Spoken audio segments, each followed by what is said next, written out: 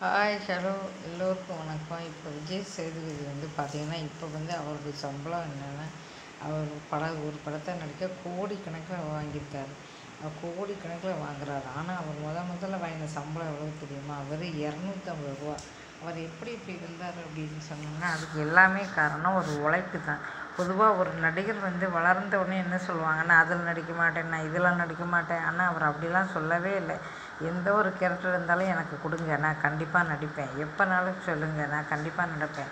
படம் வெற்றி பெற்றாலும் சரி தோல்வி பெற்றாலும் சரி தொடர்ந்து அவர் படங்களை வருஷத்துக்கு அஞ்சு படம் எத்தனை படம் வருதோ அத்தனை படம் அவர் புக் பண்ணி நடிச்சுக்கிட்டே இருந்தார். எப்பேற்பட்ட இதுனா அதனால் வந்து அவர் வந்து ஒரு மிகப்பெரிய வந்து சிறந்த நடிகராக வந்தார். அவருடைய இந்த அளவு அவர் வளர காரணம் என்னன்னு பார்த்தீங்கன்னா யாருமே கிடையாது. அவருடைய உழைப்பு உழைப்பு உழைப்பு உழைப்பு மட்டும்தான்.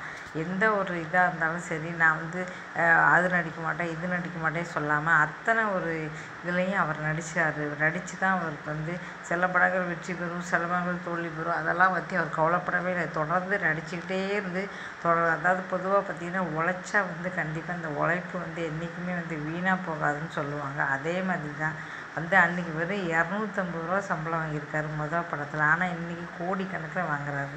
அதுக்கு காரணம் உழைப்பு தான். உழைப்பு வந்து என்றைக்குமே பார்த்திங்கன்னா வீணாக வீணாக ஒரு நாளும் போகவே போகாது. அதுக்கு ஒரு மிகச்சிறந்த உதாரணம் சொன்னேன்னா விஜய் சேதுபதி எல்லாருமே வந்து சொல்கிறாங்க அந்த அளவு வந்து அவர் உழைச்சிருக்காரு. வீடியோ பிடிச்சா மறக்காமல் என் சேனல் சப்ஸ்கிரைப் பண்ணிருக்கேன்